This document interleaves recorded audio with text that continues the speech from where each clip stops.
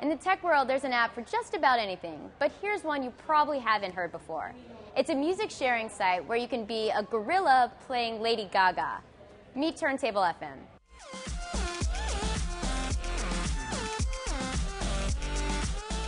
Turntable is a amazing, fun, addictive music experience that's unlike anything else out there, where you log on and immediately you see uh, which of your friends is in other rooms, and you go into a room, and a room might have 20 people or 200 people, and you see all these crazy, fun avatars of different shapes and sizes. It might be a gorilla or a monkey or a bear.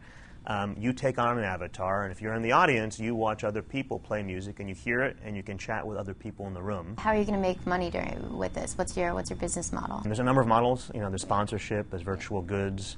Um, there's affiliate fees, um, and to date, we've been very successful and very lucky to have such an engaged audience that they're really telling us and they're leading us towards product iterations and product development and monetization techniques. Tell us your, your big news.